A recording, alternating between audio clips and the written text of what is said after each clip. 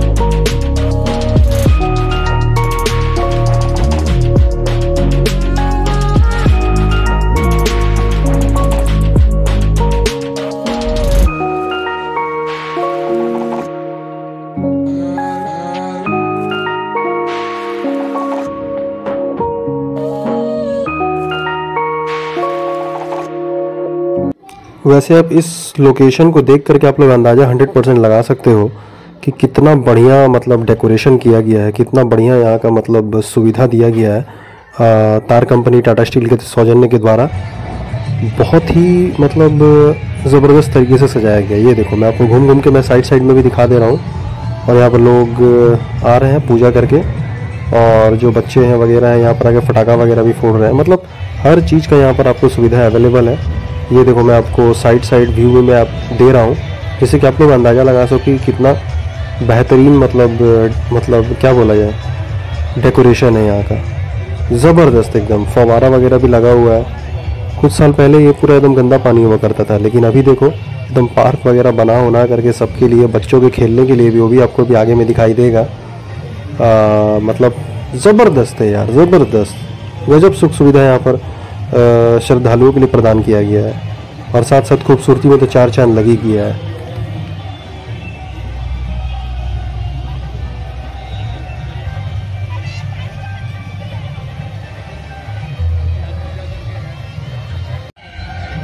और ये देखो, जैसा कि आप लोग देख सकते हो लाइफ गार्ड के लिए जो एकदम मतलब हंस के शेप में नाव वगैरह भी मतलब है, ताकि अगर कोई डूबे तो उसे बचाया जा सके। मतलब सेफ्टी का भी पूरा मतलब व्यवस्था है यहाँ पर। बहुत ही सुंदर लग रहा है यार, मुझे तो विश्वास नहीं हो रहा कि मैं जमशेदपुर के मैं किसी लोकेशन में हूँ जहाँ पर कि इतना बढ़िया मतलब डेकोरेशन किया गया है, इतना बढ़िया सुख सुविधा प्रदान किया गया है। बहुत ही अच्छा लग रहा है। जय हो छोटी मैया। तो छठ पर्व अभी एकदम धूमधाम से मनता हुआ। और वैसे जाने का भी समय हो गया बिकॉज़ अब सूरज ज़्यादा ढल रहे हैं, जैसे कि आप लोग देख ही सकते हो। तो आप लोग इन्जॉय करते रहो। अभी मैं आपको बच्चों का एक छोटा सा पार्क भी दिखाता हूँ जो कि आगे में बना हुआ है। तो चलो वहाँ पर ही विथ म्यूज़िक